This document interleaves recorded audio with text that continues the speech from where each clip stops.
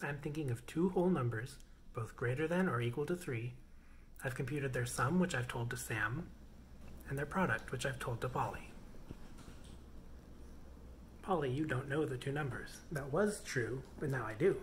Ah, now I do too. What you just heard is known as the impossible puzzle, or the sum and product puzzle. It's also known as the Freudenthal problem after the guy who first published it. Now, you may not know me as a math YouTuber, most of the stuff on this channel is about video games, but I'm branching out a bit for the Summer of Math Exposition. I've wanted to make something about this puzzle for a few years now since I explored it a lot during college, and yesterday I finally did.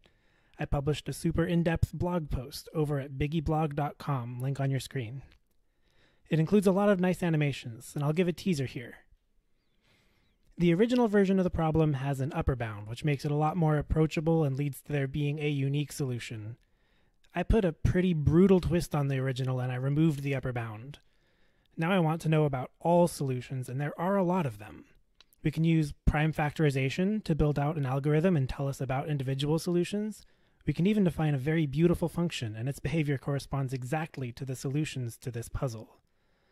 But this function is rather hard to compute, and so it's unclear whether there are finitely many or infinitely many solutions. However, I was able to prove some interesting things about this function, and I hope you read the blog post to learn what they are.